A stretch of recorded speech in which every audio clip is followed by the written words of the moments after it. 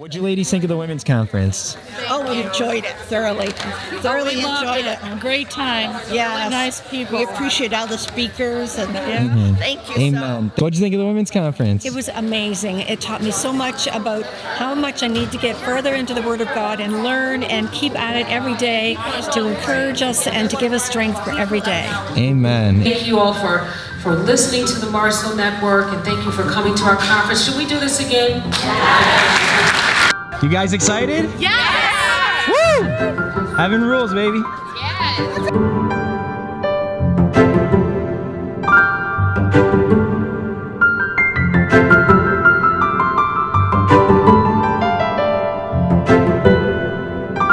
We are here today to proclaim that heaven rules. And when we look in the Bible, we saw that heaven ruled with Moses and the Israelites.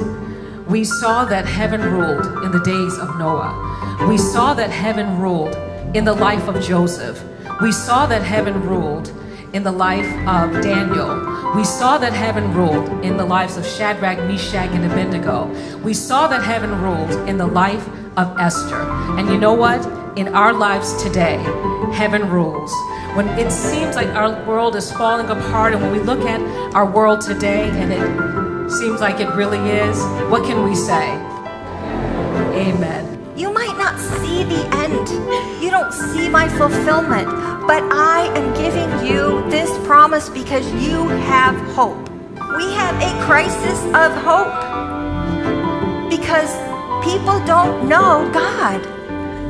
And yet we know God. I don't know how God will use that profound loss for our good and for His glory, but I have no doubt that He will. Because I know His character and I know His promises. The Lord made it clear that I was supposed to start writing again. One of the things that He needed to minister to me, that sense of absolute security and confidence in who He says I am. That it's not about who we are, what we have to offer, our gifts and talents, our position in life, nothing. None of that. It's the cross of Jesus. And the fact that He loves us with an everlasting love. You know what's amazing? As I began to study this, I thought, I bet that women will think that was true for Joshua and that was true for the Israelites, but how do I know that these promises are true for me? I actually think that these are more true for us than they were for Joshua and Israel. We have more of God's nearness with us through the indwelling spirit. One of the most beautiful pictures I remind myself often of is Jesus at the right hand of the Father praying for me and praying for you. That's a promise. Do you think he's going to fulfill that promise? Is he there? Yes, because heaven rules, right? Heaven rules. Can I just say that I am so full and so blessed? I pray that you all are too. And when you leave this place, let us live like heaven rules. Amen.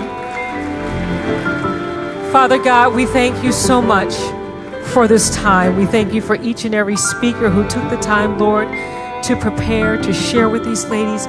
We thank you for Jeannie Vogel. We thank you for Paula Marsteller. We thank you for Northside Church, Lord, for being so generous to us. And most of all, Lord, we thank you for your love and for your grace and for your mercy, Lord. And we thank you that we can trust in you. And we know, Lord, that you are ruling all the time.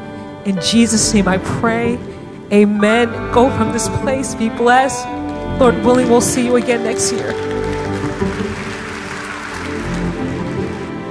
We had a blessed time in 2022 and in 2023. And we're looking forward to having a blessed time in 2024 at our At His Feet conference. Come on out and join us.